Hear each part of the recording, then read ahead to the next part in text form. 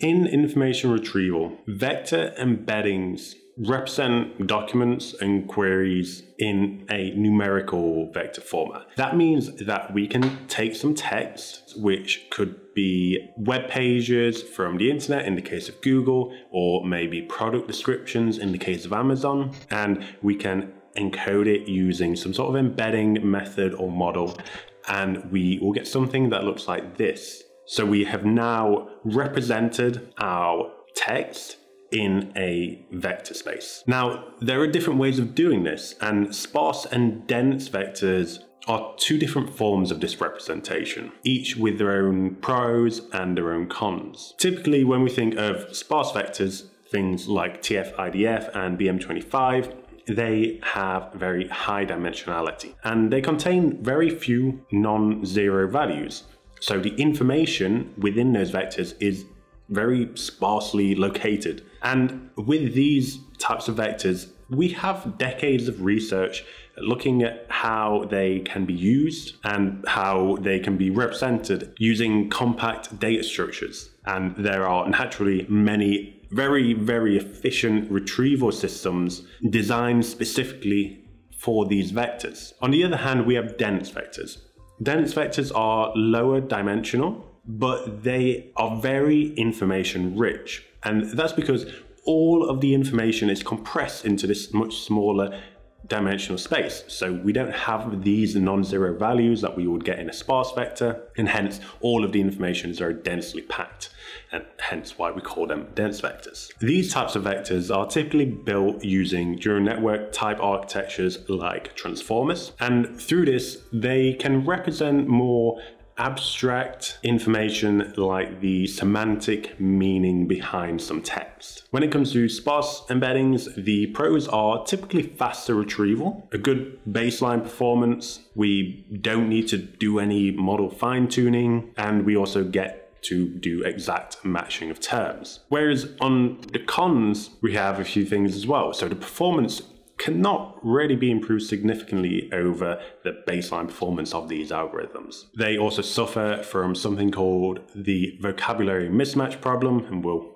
talk about that in more detail later. And it also doesn't align with the human like thought of abstract concepts that I described earlier. Naturally, we have a completely different set of pros and cons when it comes to dense vectors. On the pros, we know that dense vectors can outperform sparse vectors with fine tuning. We also know that using these, we can search with human like abstract concepts. We have great support of multimodality, so we can search across text, images, audio, etc. And we can even do cross-modal search, so we can go from text to image or image to text or whatever you can think of. But of course, there's also the cons. We know that in order to outperform sparse vector embeddings or even get close to sparse vector embeddings in terms of performance, we very often require training. And training requires a lot of data, which is very difficult to find when we are find ourselves in low resource scenarios. These models also do not generalize very well, particularly when we are moving from one domain with very specific terminology to another domain with completely different terminology. These embeddings also require more compute and memory to build and store and search across than sparse methods. We do not get any exact match search, and it's kind of hard to understand why we're getting results some of the time. So it's not very interpretable. Ideally, we want a way of getting the best of both worlds. We want the pros of dense and the pros of sparse, and just we don't want any of these cons. But that's very hard to do. There have been some band aid solutions. One of those is to perform two stage retrieval. In this scenario, we have two stages to retrieve and rank relevant documents for a given query. In the first stage, our system would use a sparse retrieval method to search through and return relevant documents from a very large set of candidate documents. These are then passed on to the second stage, which is a re-ranking stage, and this uses a dense embedding model to re-rank from that smaller set of candidate documents which one it believes is the most relevant, using its more human like semantic comprehension of language. There are some benefits to this. First, we can apply the sparse method to the full set of documents, which makes it more efficient to actually search through those. And then after that, we can re-rank everything with our dense model, which is naturally much slower, but we're dealing with a smaller amount of data. Another benefit is that this re-ranking stage is detached from the retrieval system. So we can modify one of those stages without affecting the other. And this is particularly useful if we have multiple models that take for example, the output of the sparse retrieval stage. So that's another thing to consider. However, of course, this is not perfect. Two stages of retrieval and re-ranking can be slower than using a single stage system that uses approximate nearest neighbor search algorithms. And of course, having two stages within the system is more complicated. And there are naturally going to be many engineering challenges that come with that. And we're also very reliant on that first stage retriever. If that first stage retriever doesn't perform very well, then there's nothing we can do with the second stage re-ranking model. Because if it is just being given a load of rubbish results, it's just going to re-rank rubbish results. And the final result will still be rubbish. So they're the main problems with this. And ideally, we want to solve that. And we want to do that by improving single stage systems. Now, a lot of work has been put into improving single stage retrieval systems. A big part of that research has been in building more robust and learnable sparse embedding models. And one of the most promising models within this space is known as Splade. Now, the idea behind the sparse lexical and expansion models is that a pre-trained model like BERT can identify connections between words and subwords, which we can call word pieces or terms, and use that knowledge to enhance our sparse vector embeddings. This works in two ways.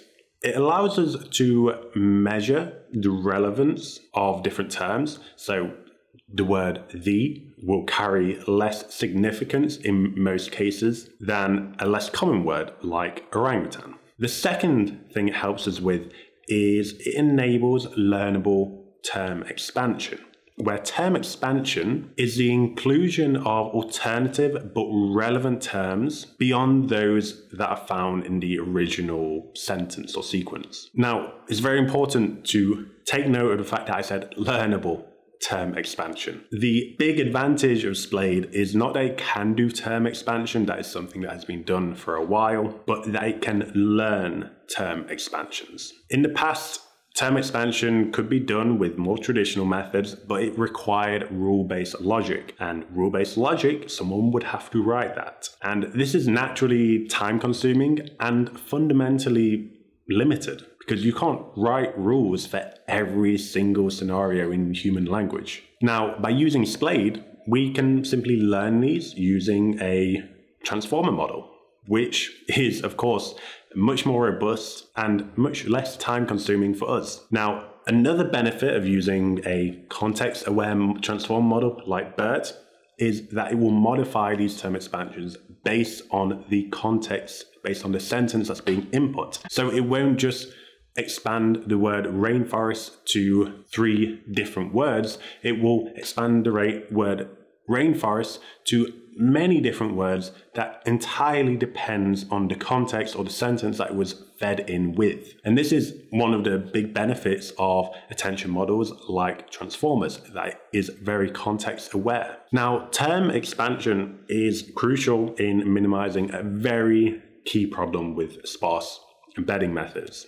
And that is the vocabulary mismatch problem. Now, the vocabulary mismatch problem is the very typical lack of overlap between a query and the documents that we are searching for. It's because we think of things in abstract ideas and concepts and we have many different words in order to explain the same thing. It's very unlikely that the way that we describe something when we're searching for something contains the exact terms, the exact words that this relevant information contains. And this is just a side effect of the complexity of human language. Now, let's move on to Splade and how Splade actually builds these sparse embeddings. Now, it's actually relatively easy to grasp what is happening here. We first start with the transformer model like BERT. Now, these transform models use something called masked language modeling in order to perform their pre-training on a ton of text data. Not all transform models use this, but most do. Now, if you're familiar with BERT and masked language modeling, that's great. If not, we're going to just quickly break it down. So starting with BERT, it's a very popular transform model. And like all transform models, its core functionality is actually to create information rich token embeddings. Now, what exactly does that mean? Well, we start with some text like orangutans are native to the forests of Indonesia and Malaysia. With a transform model like BERT, we would begin by tokenizing that text into BERT specific subword or word level tokens. And we can see that here. So we're using the Hugging Face Transformers library. We have this tokenizer object here. This is what is going to handle the tokenization of our text. So we have the same sentence I described before, orangutans are native to the rainforests of Indonesia and Malaysia, and we convert it into these tokens, which is what you can see here. Now, these are just the token IDs, which are integer numbers, but each one of these represents something within our text. So here, for example, this 2030 probably represents orangutan, and the 5654 here maybe represents the S at the end of orangutan. And they can be word level or subword level like that. Now, these are just the numbers. Let's have a look down here and we can actually see how our words are broken up into these token IDs or tokens. So we convert those IDs back into human readable tokens and we can see, okay, we have this, this is called a classified token. That is a special token used by BERT We'll see that at the start of every sequence, tokenized by BERT tokenizer.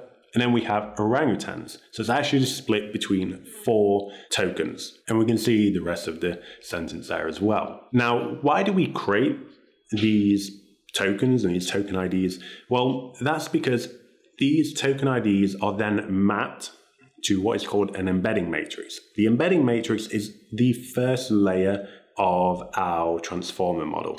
Now, in this embedding matrix, we will find learned vector representations that literally represent the tokens that we fed in within a vector space. So the vector representation for the token rainforest will have a high proximity because it has a high semantic similarity to the vector representations for the token jungle or the token forest. Whereas it will be further away in that vector space from somewhat less related tokens like native or the. Now from here, the token representations of our original text are going to go through several encoder blocks. These blocks encode more and more contextual information into each one of these token embeddings. So as we progress through all of these encoder blocks, the embeddings are basically going to be moved within that vector space in order to consider the meaning within the context of the sentence it appears in rather than just the meaning of the token by itself. And after all this progressive iteration of encoding more contextual information into our embeddings, we arrive at the transformer's output layer. Here we have our final information rich vector embeddings. Each embedding represents the early token, but obviously with that context encoded into it. This process is the core of BERT and every other transformer model. However, the power of transformers comes from the considerable number of things for which these information rich embeddings can be used. Typically, what will happen is we'll add a task specific head onto the end of the transform model that will transform these information rich embeddings or vector embeddings into something else like sentiment predictions or sparse vectors. The masked language modeling head is one of the most common of these task specific heads because it is used for pre-training most transformer models. This works by taking a input sentence. Again, let's use the orangutans are native to the forests of Indonesia and Malaysia example again. We will tokenize this text and then mask a few of those tokens at random. This masked token sequence is then passed as input to BERT, and at the other end, we actually feed in the original unmasked sequence to the masked language modeling head. And what will happen is BERT and the masked language modeling head will have to adjust their internal weights in order to produce accurate predictions for the tokens that have been masked. For this to work, the masked language modeling head contains 30,522 output tokens, which is the vocabulary size of the BERT based model. So that means we have a output for every possible prediction, for every possible token prediction. And the output as a whole acts as a probability distribution over this entire vocabulary. And the highest activation across that probability distribution represents the token that BERT and the masked language modeling head have predicted as being the token behind that masked token position. Now, at the same time, we can think of this probability distribution as a representation of the words or tokens that are most relevant to a particular token within the context of the wider sentence. With that, what we can do with Splade is take all of these distributions and aggregate them into a single distribution called the importance estimation. The importance estimation is actually the sparse vector produced by Splade. And that is done using this equation here. And this allows us to identify relevant tokens that do not exist in the original sequence. For example, if we mask the word rainforest, we might return high predictions for the words jungle, land, and forest. These words and their associated probabilities would then be represented in the Splade built sparse vector. And that doesn't mean we need to mask everything. The predictions will be made relevant to each token, whether it is masked or not. So in the end, all we have to input is the unmasked sequence, and what we'll get is all of these probability distributions for similar words to whatever has been input based on the sentence and the context. Now, many transform models are trained with masked language modeling, which means there are a huge number of models that have already got these masked language modeling weights, and we can actually use that to fine tune those models as Splade models. And that's something that we will cover in another video. Now, let's have a quick look at where Splade works kind of less well. So as we've seen, Splade is a really good tool for minimizing the vocabulary mismatch problem. However, there are, of course, some drawbacks that we should consider. Compared to other sparse methods, retrieval with Splade is very slow. There are three primary reasons for this. First, the number of non-zero values in Splade query and document vectors is typically much greater than in traditional sparse vectors because of that term expansion. And sparse retrieval systems are rarely optimized for this. Second, the distribution of these non-zero values also deviates from the traditional distribution expected by most sparse retrieval systems, again, causing slowdowns. And third, Splade vectors are not natively supported by most sparse retrieval systems, meaning that we have to perform multiple pre and post processing steps, weight discretization, and other things in order to make it work, if it works at all. And it, again, it's not optimized for that. Fortunately, there are some solutions to all of these problems. For one, the authors of Splade actually address this in a later paper that minimizes the number of non zero values in the query vectors. And they do that with two steps.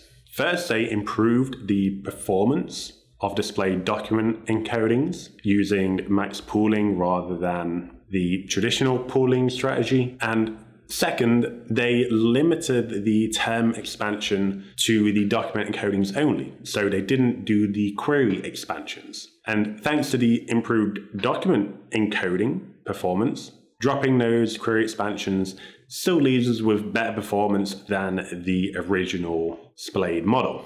And then if we look at the final two problems, so two and three, these can both be solved by using the Pinecone Vector database. Two is solved by Pinecone's retrieval engine being designed to be agnostic to data distribution. And for number three, Pinecone supports real valued sparse vectors, meaning Splade vectors are supported natively without needing to do any of those weird things in pre-processing, post-processing, or discretization.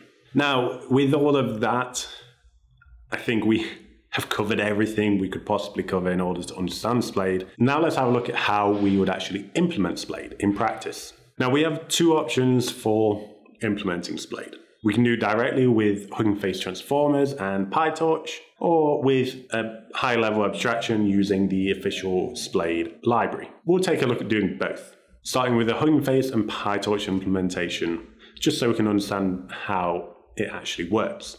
Okay, so first we start by just installing a few prerequisites. So we have Splade, Transformers, and PyTorch. And then what we need to do is install this. And then what we need to do is initialize the tokenizer. It's very similar to the BERT tokenizer we initialized earlier. And the auto model for Masked uh, LM. So this is masked language modeling. So we're going to be using the Naver Splade model here.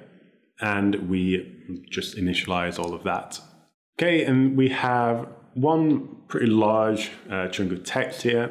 So this is very domain specific. Uh, so it has a lot of very specific words in there that a typical dense embedding model would probably struggle with, unless it has been fine tuned on data containing these exact same terms. So we'll run that. And what we do is we tokenize everything. So that will give us our token IDs that you saw earlier. And then we process those through our model to create our uh, logits output, which is what we will see in a moment, this here. Okay, so as we saw before, those logits will be, each one of them contains our probability distribution over the 30.5 thousand possible tokens from the vocabulary and we have 91 of those. Now, the reason we have 91 of those is because from our tokens here, we actually had 91 input tokens. So if we have a look at tokens, input IDs, shape, we'll see that there is 91 input in there. So that will change depending on how many input tokens we have. Now, from here, what we're going to do is take these output logits and we want to transform them into a sparse vector. Now to do that, we're going to be using the formula that you saw earlier to create the importance estimation. And if we run that, we'll get a single probability distribution, which represents the actual sparse vector from Splade. And we can have a look at that vector and we see there's mostly zeros in there. There are a few values, but very few. So what I'm going to do now is First, I want to just ignore this bit. We're going to come down to here and we're going to create a dictionary format of our sparse vector. So we run this and there's a few things I want to look at here. So number of non-zero values that we actually have is 174 and all of them are now contained within this sparse dictionary. Okay, so these are the token IDs and these are the weights or the relevance of each one of those particular tokens. Now, we can't read any of these token IDs, so uh, similar to before, what we're going to do is convert those into actual human readable tokens. So to do that, we'll need to run this. And then we come down here and we're going to convert them into a more readable format. Okay, and we can see what it believes is important is all of these values. So we've sorted everything here, so that's why the numbers have changed here. And we can see that most importantly, it's seeing like programmed, death, cell, lattice. So a lot of very relevant words within that particular domain. Now, if we come a little bit further down, we can also see how to do that using the Naver Splade library. So for that, we would have to pip install Splade. We did that at the top of the notebook, so we don't need to do it again. We're going to be using the max aggregation. So this is using the max pooling method. Run this. Again, using the same model ID here because it's also downloading the model from Hugging Face transformers. And what we do is we set torch to no grad. So this is saying we don't want to update any of the model weights because we're not doing fine tuning. We're just performing inference, e.g. prediction here. And we just pass into the Naver model our tokens, which we built using the tokenizer earlier on. From there, we need to extract the drep tensor and we'll squeeze that to remove one of the dimensions that is unnecessary. And we can then have a look. We have 30.5 thousand dimensions here. So this is our probability distribution or importance estimation. And that is obviously our, our sparse vector. And what we can do is actually use what we've done so far in order to compare different documents. So let's take a few of these. So we have program, cell def, no, no, no, no, this is the original text. And then the ones below here are just me attempting to write something that is either relevant or not relevant that uses a similar type of language. So we can run that. We'll encode everything. We're going to use the PyTorch and Hugging Face Transformers method, but either way, it will both of these will produce the same result, whether you use that or the actual Splade library. And what we'll get is three of these importance estimations, the Splade vectors. And then what we can do is calculate cosine similarity between them. So here I'm just going to initialize a zeros array. That is just to store the similarity scores that we're going to create using this here. So we run that. Let's have a look at similarity and we can see that obviously these in the diagonal here this is where we're comparing each of the vectors to itself. So it scores pretty highly because obviously they're, they're the same. But then the ones that we see as being the most similar, other than the you know themselves, is sentence zero and sentence one. So this one here. If we come up to here, so basically these two here are being viewed as the most similar. And if we read those, we can see that they are in fact uh, much more similar. They have a lot more overlap in terms of the terms, but it's not just about the terms that we see here, but also the terms that produce from the term expansion as well. So that's how we would compare everything. That's how we would actually use Splade to create embeddings and to actually compare those sparse vectors as well using cosine similarity. Now that's it for this introduction to learn sparse embeddings with Splade. Now using Splade, we can represent text with more efficient sparse vector embeddings that help us at the same time deal with the vocabulary mismatch problem whilst enabling exact matching and drawing from some of the other benefits of using sparse vectors. But of course, there's still a lot to be done and there's more research and more efforts looking at how to mix both dense and sparse vector embeddings using things like hybrid search as well as things like Splade. And using both of those together, we can actually get really cool results. So I think this is just one step towards making vector search and information retrieval way more accessible because we no longer need to fine tune all these really big models in order to get the best possible performance, but we can use things like hybrid search and things like Splade in order to really just improve our performance with very little effort, which is a really good thing to see. But that's it for this video. I hope everything we've been through is interesting and, and useful. But for now, that's it. So thank you very much for watching, and I will see you again in the next one. Bye.